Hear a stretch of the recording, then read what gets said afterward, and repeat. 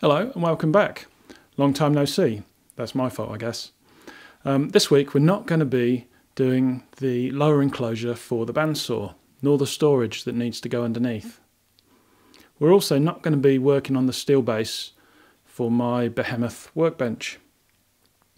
And we're not going to be doing the electronics and the motor mount for the EMCO lathe. I haven't forgotten about those projects, they'll come later. This week we're going to try and focus on a bit of paying work and I've got a job where I have to extend some stair stringers. Now they're made out of steel and they're obviously engineered for a certain size.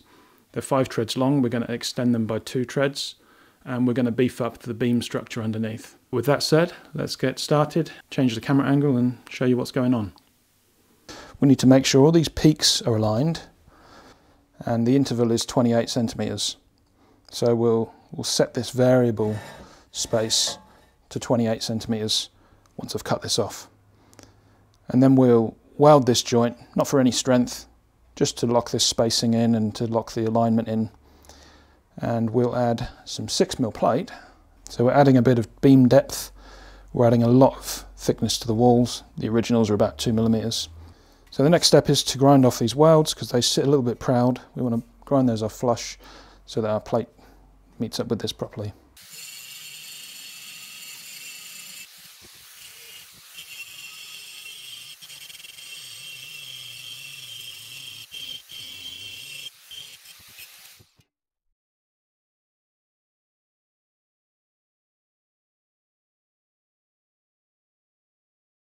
Here you can see me marking the overlap that needs to be cut off. I was able to use a parallel as a spacer.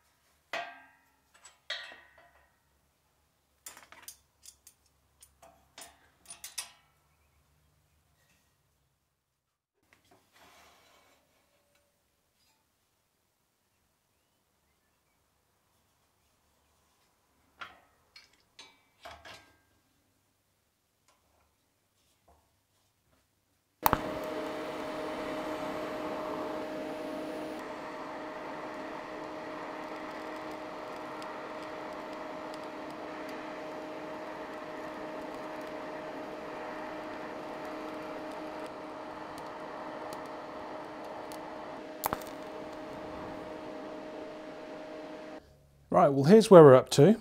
These three pieces are now joined on. You saw a little bit of welding there, but things quickly went south when I realised that underneath this powder coating there's, uh, there's a zinc layer. So I ended up with lots of um, contamination in the welds and I had to spend some quality time with the uh, carbide burr and re-welding a lot of these. So I've spared you the pain of that and uh, here's the finished job. So these are all joined and I've given them a coat of zinc spray, cold galv as they call it. And next step is to shape some of these 6mm plates so that they fit on the sides of these and then we can strip the paint and weld them on.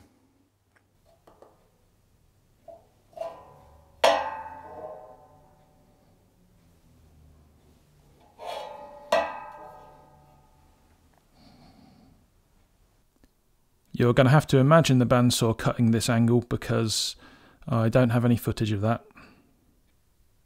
Well, that angle worked out to be okay. In this shot you can see the welds better and you can see the depth of the new beam. Here I am cutting the other angle.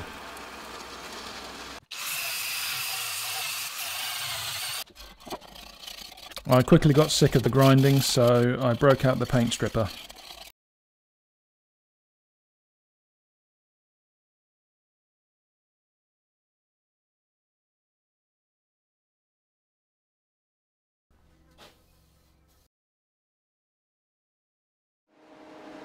Now I'd heard of other people joining the ends of their TIG filler rods together, so I thought I'd give it a go.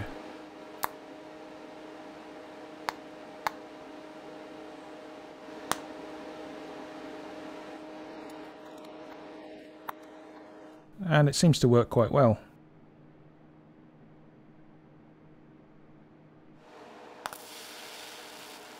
Here's welding one of the side plates onto the square tube in real time.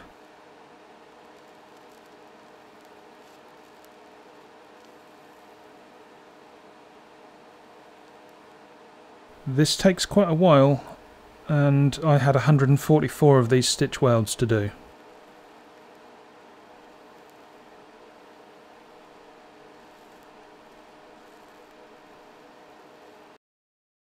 Well, those welds seem to have come out pretty well. Especially now I've got the zinc and powder coating removed.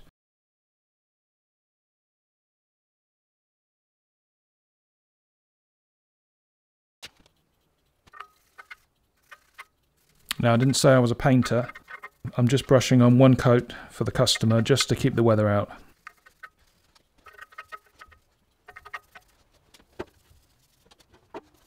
And here's the finished job.